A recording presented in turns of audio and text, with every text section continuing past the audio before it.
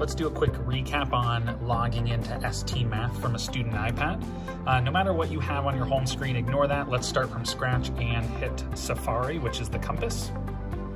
And then in the website bar here, where you would type that in, we're gonna type P-L-A-Y dot stmath dot com. So play.stmath.com and then hit go.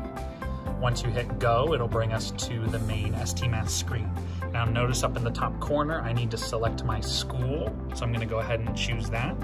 Uh, I do want it to allow me to use the location, that's fine. So I'll just allow while using the app and verify that allowance. Now I'm gonna choose my school. This is where I'm going to either type McKean and you can see it pops up, or I can go ahead and do the same thing and type Edinboro if that is my home school. And make sure you choose the correct one. You can see Parker Middle School pops up and there's Edinboro Elementary. So make sure you uh, click the correct school for your student so that they can connect with the STMath account that they're supposed to be. All right, now, even if you're cyber, you still have a home school of your sort of jurisdiction anyway. All right, this part here, when we set up accounts, we use this. We are not using this anymore. Do not click invitation code anymore.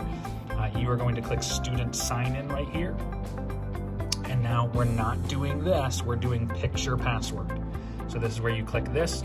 It will bring up your space to enter your password. If you don't remember your password, then contact your teacher and they can give it to you. If you do remember it, then they can go ahead and start typing in whatever that is. Okay? And they'll continue that off and it'll take them into ST STMath.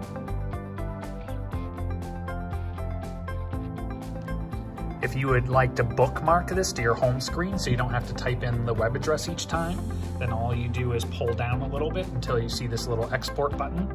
You tap that and then you're going to choose add to home screen. It might be down here or yours might be up above and you have to slide to find it, but just look for add to home screen.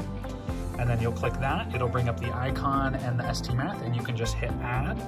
And then what it does is it makes it look like an app even though it isn't really, it's just a bookmark.